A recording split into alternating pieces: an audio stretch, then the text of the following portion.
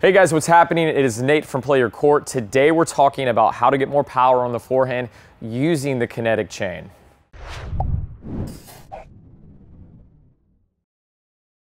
All right, part two of our Unleash the Forehand for More Power series, and today it's all about the kinetic chain.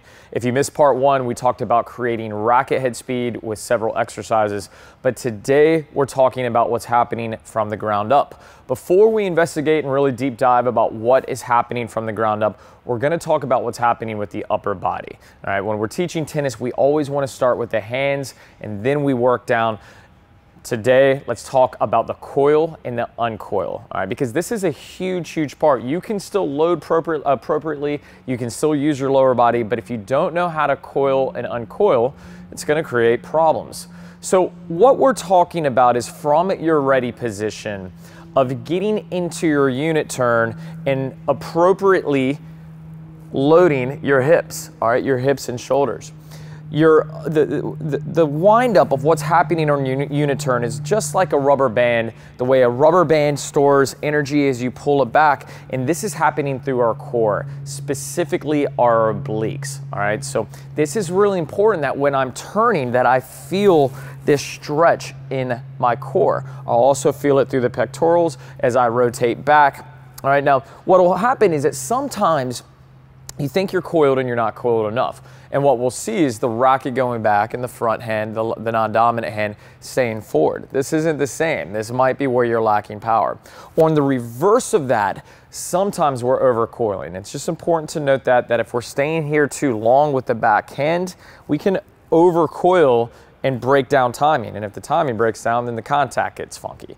All right, but what we're talking about is, is this coil to where as I'm moving back, the hand separates about here, and I'm loading through, you know, right about parallel with the shoulder. It's not necessarily breaking that plane, but I'm letting go, and that is the appropriate coil. A really interesting tool for understanding the coil uncoil is the Chinese drum. All right, it takes you right back to the Karate Kid, I know.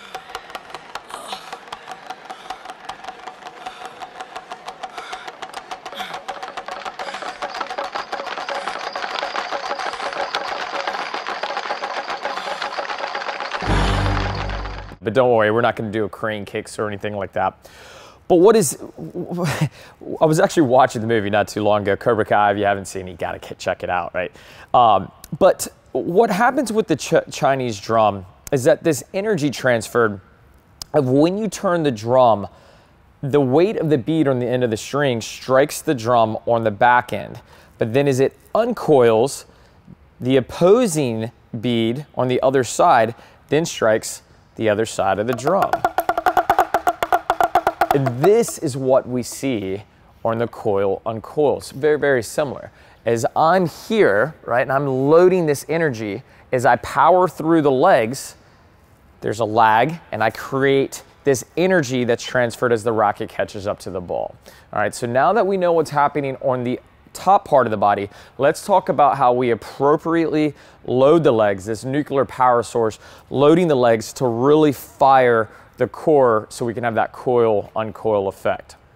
So when we're talking about loading energy from the ground up, there's multiple ways to do it. The, the open stance is what we see the most. It's probably the most talked about. And we'll get to that in a moment, but I think it's important to note that there's two other methods. And the one that we see is off the front foot. And right, like so when, when the game was played predominantly linear, this is what we saw the most. We still want to be on our front foot when we can be, right? We still see on the ATP WTA when players get a short ball or they get a weak ball, they're stepping in.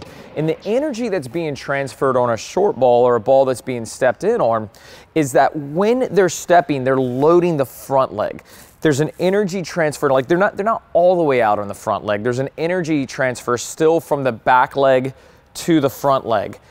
But what's happening is they work out to contact there's a pivot all right? And whether they're going to the net and they would continue forward they're using this pivot step to create the power. But it is still very much so loading from the back leg to the front leg all right? Just a little bit more nuanced where the as I'm loading that weight transfer comes through out to contact. Now, the second one that we're going to talk about is what happens a lot of times when we're playing on the rise or we're defending a really deep ball with heavy pace.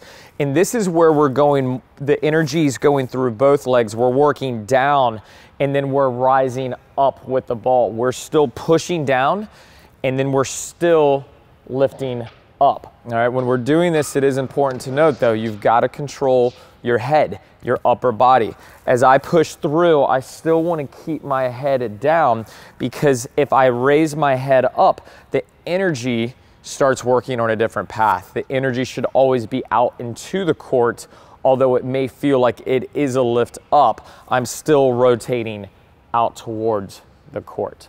All right, so the next one we're gonna talk about is the open stance, and I'm gonna give you a little drill to practice exactly how this should feel. All right, so the open stance, it's what we see a ton because of the pace of the game, how fast the ball is moving now. Especially if you're a doubles player, you're gonna see this with the ball playing predominantly or in the diagonal, but definitely in singles, it's what is predominantly used unless a player is able to step in and attack the ball. But as a coach, what I see a lot is the open stance in the loading phase, the loading phase of the outside leg being done incorrectly. We refer to this as leg drive. All right. And so what happens is that if I step forward or I step too far to the side without a proper coil, everything's gonna break down. When I'm stepping out, I always want my outside leg to be at an angle where it's behind my front foot so that I can load my hip. All right, now something else we see is not enough knee bend, all right, or an over knee bend where the knee travels over the toe, and then I can't fire the hip the way that I should. So with the mat down, anything that you can step up on, the tool that you're gonna use is as you step up to the mat, you push your energy up. This teaches you to appropriately use the leg drive. And from here, you're gonna transfer the weight back to the left foot as a righty. As a lefty, you'll transfer it to the right foot.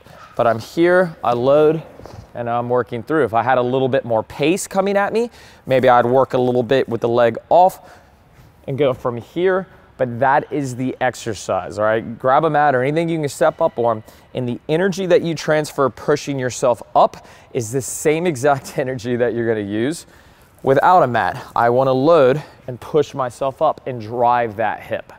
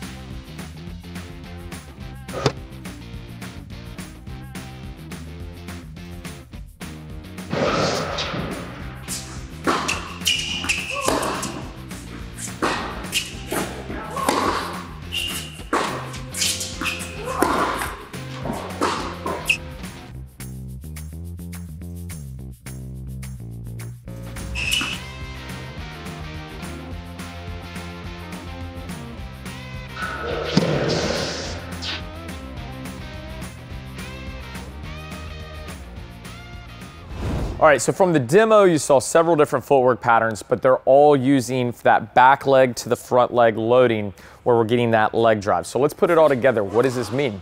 When I coil and I stretch my obliques and I load this outside leg, as I raise up, the racket will lag.